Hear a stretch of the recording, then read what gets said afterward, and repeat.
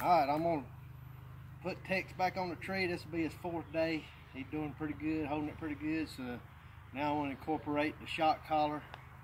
But whenever he gets off, I'll be bumping him back on. So this will be the first time he's done it with the shock collar. I got it on, got it turned on one. All it does is give him enough stimulant to let him know what I want.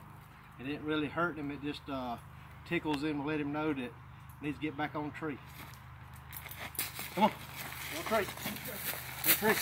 Good boy. Good boy. Good boy. Stay. Huh, huh, huh. I'm hitting the button at the same time that I'm putting him back up on the tree. Get on the tree. Get on the tree. All right. Good boy. Good boy. I may go up to two because he didn't act like he felt that too much. Good boy.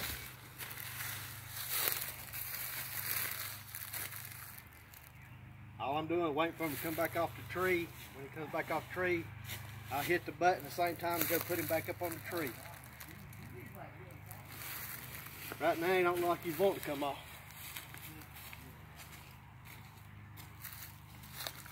Good boy, son.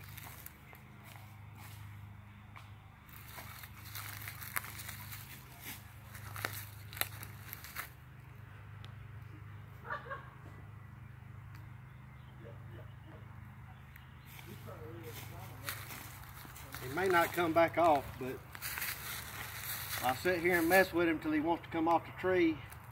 And I walk over, grab him by the collar. I bump him with the, with the shock collar at the same time on one or two, and then put him back up on the tree. And after I get up on the tree, I stop shocking him and pet him up. And I just do that over and over till he quits coming off the tree. Look like it didn't take but one time. So that's all. All, all it is.